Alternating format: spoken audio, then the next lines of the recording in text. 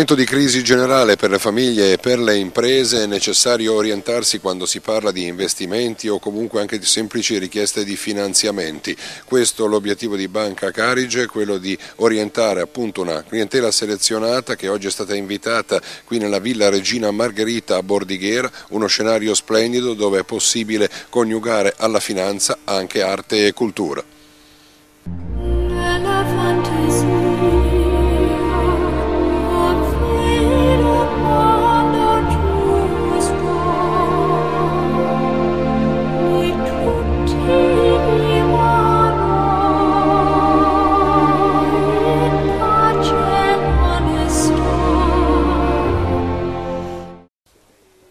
Dal vicepresidente di Banca Carige, l'onorevole Alessandro Scaiola, per capire innanzitutto come nasce l'incontro di oggi. Beh, nasce da questa esigenza che noi avvertiamo, ma questo vale un po' in tutta Italia, ecco, di un contatto molto stretto tra la banca, i nostri funzionari che hanno un livello di preparazione elevata, con eh, i nostri clienti diciamo maggiori o i clienti più affezionati perché in un momento travagliato come questo, con eh, la borsa, gli alti e bassi, le difficoltà che ci sono,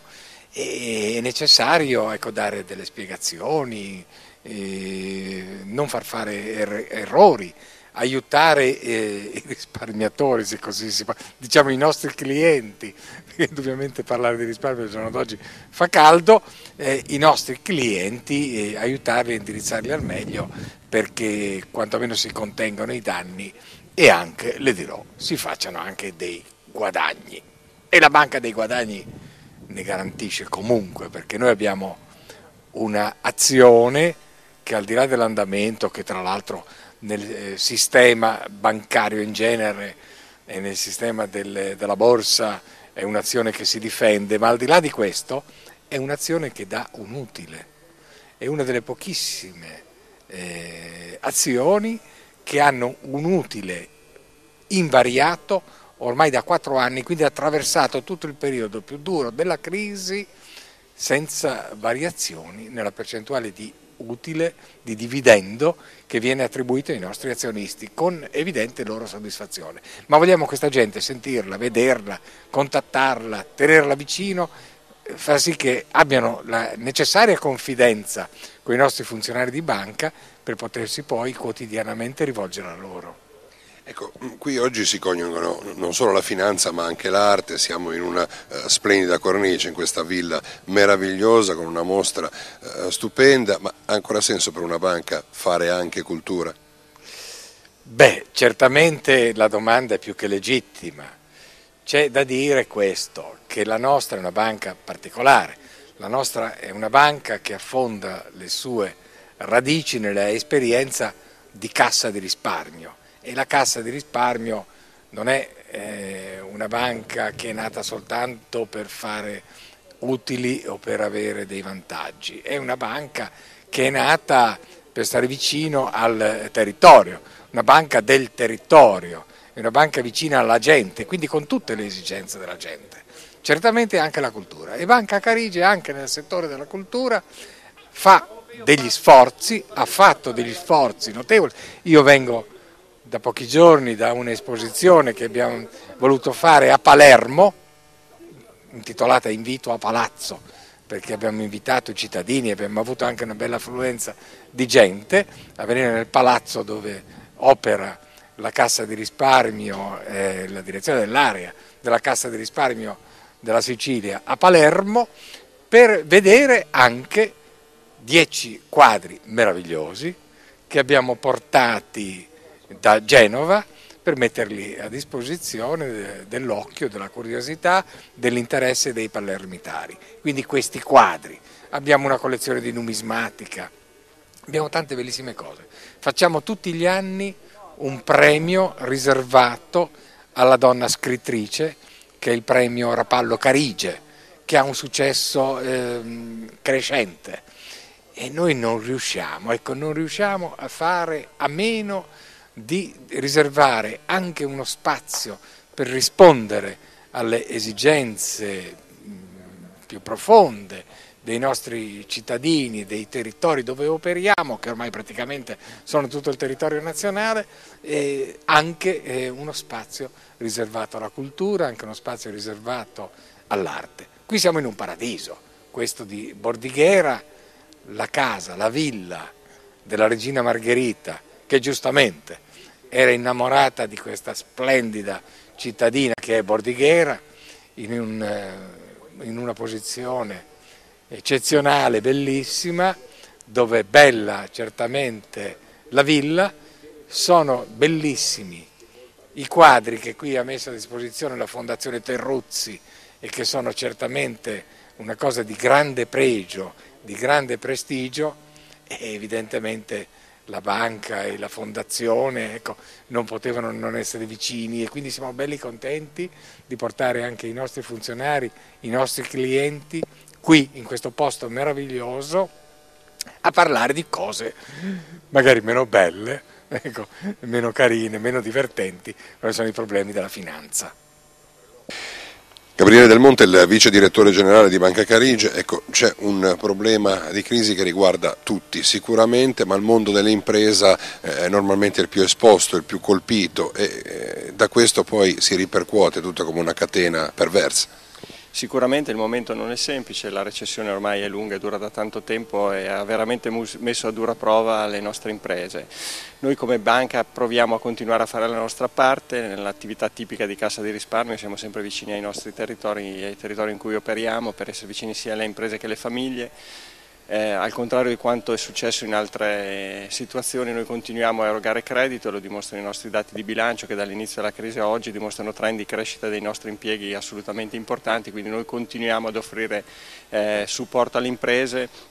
siamo convinti che riuscendo ad infondere un po' più di fiducia anche nei nostri consumatori potremmo comunque aiutare le imprese stesse ad uscire dalla crisi, perché oggi noi quello che vediamo è fondamentalmente anche una crisi di fiducia da parte dei consumatori che ha portato poi al tracollo dei dati inerenti all'indice della fiducia dei consumatori e all'andamento dei consumi interni.